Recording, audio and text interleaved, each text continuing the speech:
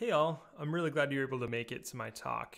I'm excited about the state of the source. It's been the one conference I've been looking forward to during this pandemic, and I'm, I'm so thrilled to talk to you. And how relevant, we're going to talk about communication channels. How do we keep in touch with each other over this wild internet of ours? And how maybe IRC isn't the right solution for us today. I say that not to create some sort of beef with anybody, but I just want us to get to think outside of our normal worldview here. And I have some data to support this idea. You can find the slides on Speaker Deck. So I'm Matt. I work as a technical editor on opensource.com uh, for Red Hat, and there I get to coach and encourage community members to write about their open source experiences. It's a really fascinating blend of everything from deep dives on Kubernetes to learning Python to what's your first experience with Linux but it's telling technical stories, and I love coaching people through that. I also joined the OSI and the PSF, uh, the Python Software Foundation, and I'm a contributor to Kubernetes through a working group and a maintainer in the CHAOSS community. I also recently graduated from a, a partial graduate program called the Business of Open Source out of Brandeis that comes with an OSI approval and guidance. So it taught me a lot more about the foundations of open source, and uh, I've been learning that as a, as I go here. So it's been great to solidify that through a course, and I highly re- recommend you check it out. So to anchor us in this conversation, take a moment and think. Where were you and what tools were you using to chat with the first open source community that you felt like you were a member of, that you felt included in? Okay, with that in the back of your head, let's roll through history a little bit. So, IRC, released in 1988, but I say by the early 90s, it just seemed to take up the free space of where are people going to talk about open source online. It wasn't quite as popular as uh, it is today, open source that is, but um, the conversation was happening there. If we fast forward another 10 years or so, we land in the early 2000s where IRC, pretty strong following, 240,000 people are hanging out on there. And there are just some behemoths, though, competing for chat space. You have ICQ, which will ever live for will forever live in my heart. You have MSN Messenger that had well over hundred million users, which is just crazy. Um, and then Yahoo was a beast of its own time. When I talk to IRC enthusiasts, they always remind me that all of those channels have since uh, become deceased. And in their mind, in that headspace, it is only empty space around it. There is only IRC. But times have changed quite significantly. When we, we take a look around us, you see Slack with a whopping 44 million users, uh, which is just absolutely dominating many of the communities I see and participate in. Gitter's involved with 100K, and Element, formerly Riot.im, with its Matrix uh, underlying protocol, is an open source alternative that's coming out pretty strong with 18 million users just recently. So it's great to see, but even these these don't even compare to some of the other networks that we spend time on in our day. We see Twitter with over 300 million, so that's way bigger than MSN Messenger ever was. Telegram is even bigger. Who knew? I didn't. Um, and then Reddit is the beast that it is. And even beyond those, Discord, very popular in the gaming community, has an increasingly open source centric space uh, and even has open sourced some of its code and seems to intend to do more in that space. So there are a ton of channels that are available to us. And those are just the ones we want to talk about. The one no one wants to talk about is Facebook, with 2.6 billion users, uh, allegedly. I, I, worry about how many of them are bots, just like the rest of us. But putting that aside, this isn't an advertisement for using the largest channel by any means, but it is an acknowledgement of this question that we started with. Where did you first come from when you engaged with open source communities? My impression is that if you're a fan of IRC, you started on IRC. Maybe a mailing list as well, but IRC was that place where you connected with people for the first time in the open source community. For me, on the other hand, GitHub was the place that made me feel welcome. I didn't even know what I was doing would be considered open source, but I opened a pull request uh, and shared information and improved a project I absolutely adored before I really understood what I was doing. And not only that, I got to banter with people about it on Twitter after, which is my preferred chat platform.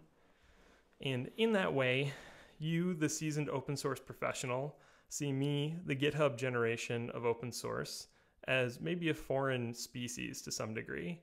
Uh, you know the OSD from heart, can recite all the parts of it. And I only in the last year through that course figured out that FSF, the Free Software Foundation, and the Open Source Initiative were different.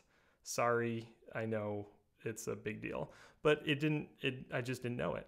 Um, you have had to live through subversion and other forms of version control, while Git has been a common denominator for me throughout my whole career. And you've been active on IRC this whole time. I just joined because Element made it easy. More on that later. But what brings us together as a collective community, and what I hope you will see in me and what I see in you, is that we really care about open source communities and we want each one of ours to grow and succeed and to connect with users that need it. We don't make this just for the heck of it, we make it to share and to create that commons that can be cultivated communally. So, when a new user, and this is my experience firsthand, uh, is using IRC, they look at it like, what is this wizard like syntax? You know, having a CS degree and working in technology and data centers for 10 years still didn't prepare me to try to figure out how to chat on this platform when I was so used to Twitter or I was so used to GitHub. And Nameserver, for God's sakes, just doesn't seem to respect me as a person. It, it will give away my username every time I try to log in from a different machine. So, you know, these may be naive questions, and you're watching this like, hey, I can fix this for you. But that's not the point. It's the point is that the bar for a new user is higher than ever. And IRC doesn't quite hit those points that are just seen as basic by other standards. So if we talk about the sign up experience and having an account where I can configure it, that I can then sign into that account through my mobile device. Or I have onboarding to figure out what the heck is the syntax of this new tool, because every new tool is a little different to have moderation options that makes this safe for people so that they can mute trolls or um, or mute conversations that aren't good for them, aren't healthy for them. Um, is there a shared discussion history, just something out of the gate that, yes, I know there are extensions for IRC, but out of the gate it is complex and confusing to find? And then multimedia support. I, I really like emojis. I think it's one of the few ways we can express ourselves through reasonably plain text these days. And without those, it's you're really silencing a lot of conversation. So there's a lot of things, including the notifications, that are also important because we're on so many different channels and have so many different tools. If I can't tune my notifications, I probably won't actually look when people are talking. IRC doesn't offer these, and Slack and Element absolutely do. So Slack being the dominant proprietary option, and Element formerly Riot.im, is just taking over as the great alternative. And that really it shows in the numbers, right? So this is from a site that's been tracking IRC since its very beginning, and the numbers as of 2020 uh, are looking pretty low compared to the high point in 2004, um, and that is shrinking uh, at a time when open source is more popular than ever so the correlation of those two things just doesn't bode well for IRC as a as a primary communication channel. But I hear you. I hear you screaming through the microphone. Yes, but IRC has principles that I really value. You value an open source license. You value the decentralized nature so no one owns owns it. And you value end-to-end encryption that yes, most people layer on top of their IRC config to to give them that independence and that sovereignty over their info. And I totally get it, but those are not enough to make IRC the only answer. Elements and Rocket Chat are fantastic, and if you ignore Federated, and uh, you can get Zulip in there pretty quickly as well. And they're all great chat apps.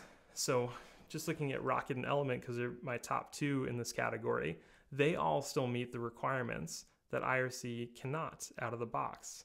Uh, and, and that really matters to users who are used to a more full-fledged, more uh, more modern experience.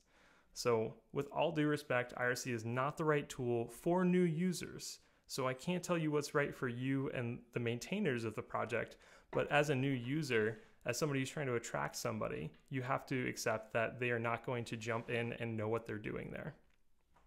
So, what does it look like to choose a community channel? We've been zoomed in on one very specific part of a bigger challenge, and I want to offer uh, a model to help you think through it in the future. When designing a community experience, I, I break it into four quadrants that there's synchronous communication where there's a casual conversation going on that really keeps the buzz going, keeps people communicating over time. When you have, uh, on the other hand, you have asynchronous communication, which gives you the definitive record of truth. It's your question and answer type forums.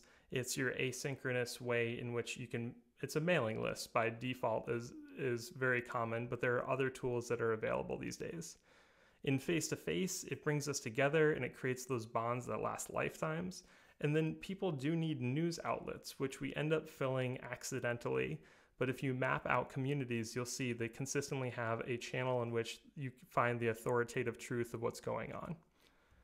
So we're only zoomed in on synchronous, which includes a set of technologies that differ from these other ones. So we're only talking about one fourth of this challenge, and it gets more complicated with time. But I show this all to say that all communities are multi channel and all communities have a bunch of tools. Uh, so, looking at synchronous, yes, it is helpful for us to start here because it's what everyone is used to. But I just want to note that it's rarely the right place for a community to start. If you're starting from scratch, think about asynchronous communication. Think about how you're going to be able to break people out of these limitations that are inherent to synchronous uh, how they require always on participation, and how it creates a, a culture of immediacy for everybody. And it automatically makes it more difficult for people outside of a time zone to participate. Probably my least favorite part of synchronous communication is that great knowledge is given and lost every single day. If I give an an answer on how to set up a environment for testing and somebody else shows up the next day and ask it, I'm not going to ask them to roll back and, and search for it. It's gone on most tools. So I love asynchronous because it really focuses in on prolonging knowledge sharing and giving people this uh, choosing people can choose their own time of day to participate in open source. They don't have to be on at all times. But let's say synchronous is the right place for your community at this time. I'd like people to think a little bit bigger. So it's going to be more advanced, but let's say you're already in IRC, which is your preferred place. Cool, do that thing. But use elements. Um, they are not paying me for this, but I've found that I love what they do here. They offer a bridge to use IRC protocol uh, and connect it to another channel inside their community. So you can bridge that connection, make the same channel from IRC in Element um, under this idea of a community, which in many ways is like an entire Slack team. You have multiple channels in there that are associated and using the same apps. So you can do that. And then on top, you can layer a community contributors channel so that people who are newer can banter and get to know each other and now you're building tiers of relationships where your maintainers can chat and people can pop in and ask questions, and those are synced. And then community contributors are doing their thing. That can be really, really satisfying. If you want to go even more advanced, add a third channel. Uh, they, they can connect together through bridges. Um, so you can add Slack to your configuration, use channels there to map to your element one your IRC community is still doing its thing, but you're growing this multi channel conversation that is where people prefer to converse. And if you want to get a, a, ton more visibility, add some bots that are taking Mastodon traffic and Twitter traffic and posting it into your your channel so that you can go and then respond to them if you find interesting people there. So you're really starting to get a broader range of experience and awareness and find that broader range of people that care about your project by being on the channels that they choose to be on. And the future is it's going to be where the contributors are, not necessarily where you want to be all the time. So thinking about that and putting it all together, um, it, it really I hope my example is one that kind of makes this make sense that I started from proprietary hardware company out of college, not knowing what I was building or how it related to anything open source. I had to learn Linux for that job a little bit, and then I learned a little bit more. But slowly but surely, I found this way into an open source ecosystem that brought me a ton of joy. And it was only after I participated for many years that I had any idea what I was participating in. And now, as somebody who's a maintainer and contributor to multiple large projects and small ones as well, I find it so satisfying, and I really want other people to be able to find this with a little bit more ease than myself. And the communication channels really are the choice that will allow people to either be part of this from the beginning or feel excluded from the beginning. Uh, our goal is, should not be that they to tell people to try harder to communicate with us.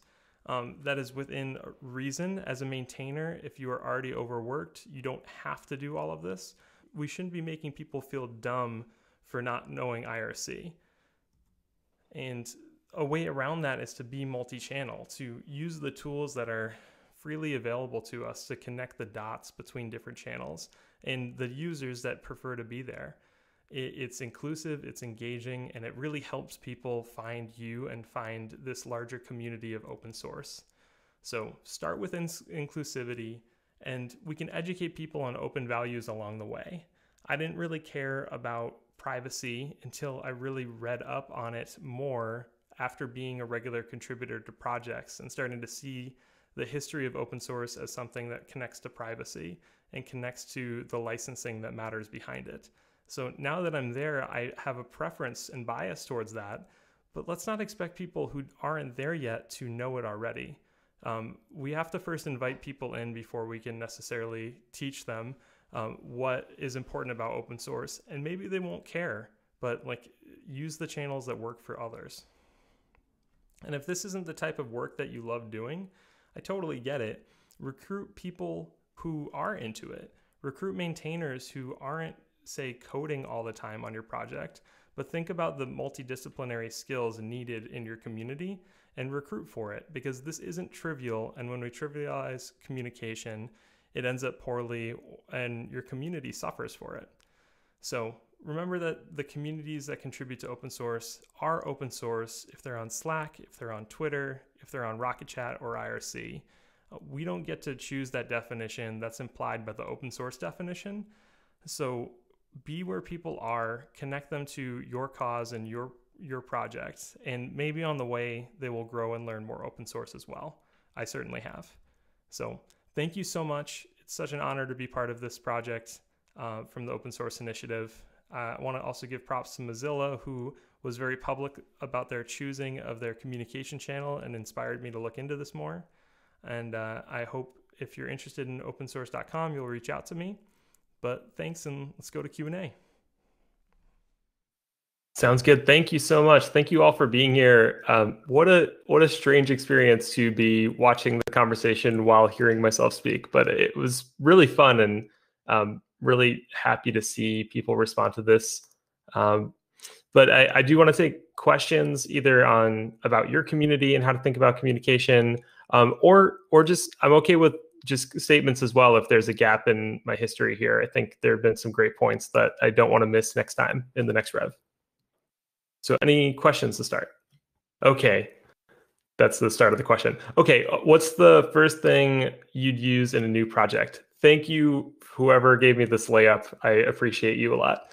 Um, my absolute favorite place to start these days, since I do try to have a bias towards asynchronous communication, so I don't accidentally create multiple pockets of community based on geos, based on uh, time zones, is to use Discourse. It's it's free and open source license, um, fantastic community support. Uh, you can they have a very inexpensive hosted if you want them to run it for yourself. And my absolute favorite part of it is that if you're if uh, you have a multi generations of open source contributors in the same space, and some of them really want mailing lists, and other people want a forum type experience with emojis like crazy. Uh, Discourse provides both at the same time. Each of the categories you set up on Discourse, you can also configure as their own mailing list. And uh, then so you have all the new tools and it works perfectly well as a plain text mailing list at the same time. So if you're going to start with only one thing, Discourse is absolutely the thing I would start with. Um, on the chat side, if you were really into to chat only, uh, I'm really enjoying Element. Um, it still has a couple of the gnarly, hey, can I talk to your version of name server configuration things? Um, but I think it's getting so good that, um, and it aligns really well with the the culture of, of our community in the open world.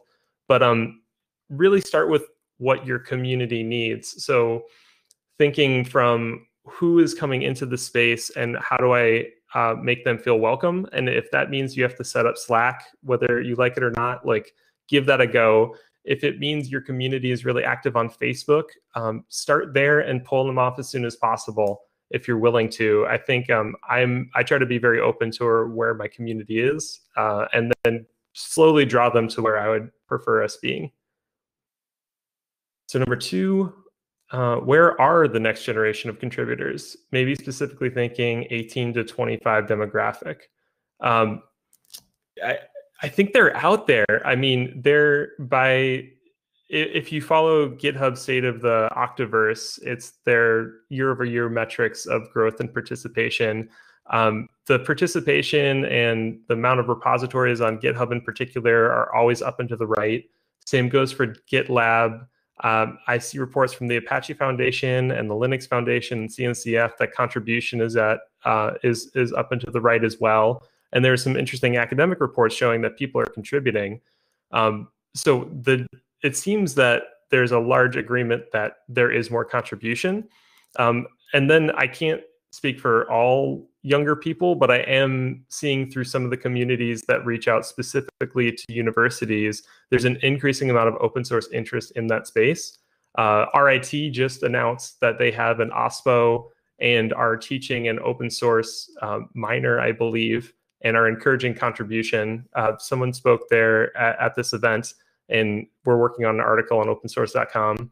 And I worked with some uh, wonderful people uh, through the CHAOSS community, who a lot of them are college students who are doing their very first pull request of the project, and it's it's fantastic. So, um, for better or worse, I think it does aggregate on GitHub because it has the glossiest uh, experience, and people tend to gravitate there. Um, but I, I bet there are a lot of cases that I'm not privy to and are very, you know, based on geography. Um, if other people have thoughts on there, please add comments to the the shared notes on where younger people are contributing from. I'd love to hear your take. So, any thoughts on best practices for information management between corporate and public open source channels? Uh, yeah, coordinating between multiple issue trackers and channels. Yes, that was my beast of burden for about two years at Intel. Um, slowly trying to get us to be developing a couple of our cloud projects in the open as opposed to behind in a in a closed Jira, um, but through open issues, through GitHub management, uh, since that's where the project was, and I, would say try to find the places where you can uh, push the boundaries a little bit. Um, so we we absolutely had to use an internal Jira tracker but um, there was no rule against us connecting that Jira tracker to a GitHub ticket through a bot. So we made a bot to do so, and we had uh, bidirectional uh, synchronization. And if you can get bidirectional, that is absolutely ideal. Uh, I know that is ideal, which means you're not going to get it every time. But same goes for if you can get the communication channels to be public by default, um, and uh, you can do a lot. And there are good reasons to that will take a much longer argument to make. Um, so if if you want to talk more about that, uh, I'd love to dig into it. But um, maybe some of the data from CHAOSS or from CNCF on like how effective it is to contribute in public will help support that argument. Because ultimately, it's a risk reward conversation with some executive sponsor, and if you can figure out what their decision makes decision making matrix looks like, you can push them towards the direction that you hope for.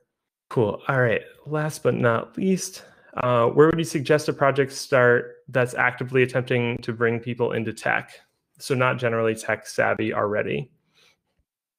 That is um, a really wonderful, uh, wonderfully complex question. I, I think I quite honestly don't have the most experience there. Um, to be uh, blunt, I and so I end up um, I help my a couple of my friends who are teachers in like uh, the the city of Minneapolis where I live, and I try to talk to them about how they're getting their students to adopt technology right now through remote learning, and you know, getting them to jump on IRC, for instance, was not out of the question.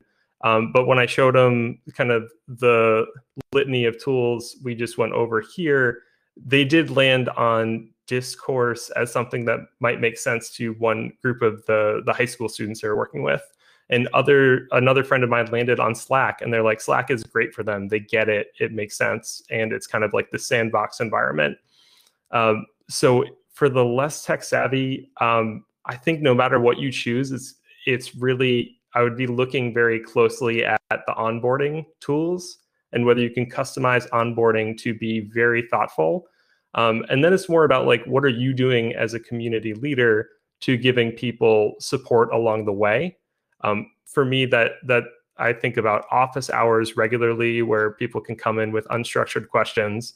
Um, really good channels for structured questions online, uh, and then one-to-one outreach of find your influencers in your community who you know may be more vocal about the challenges than other people and get them to explain what's going on and collaboratively, you know, share that through whatever news outlet you've created.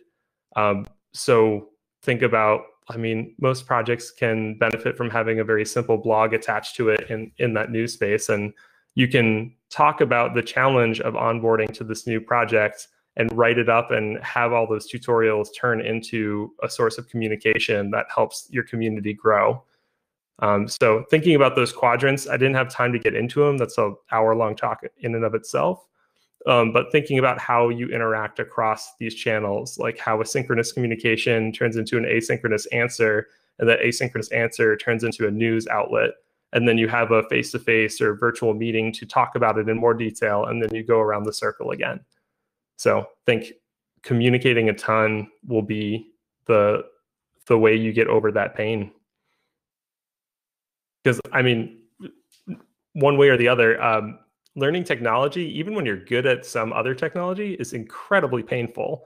And if you haven't learned something new recently, and uh, please go do that and just feel as foolish as you feel when you don't know how to do something and you're really good at a bunch of other stuff. So think about that whenever you're trying trying to adopt a technology and uh, be ready to help people through that and make it normal to be learning and to ask questions.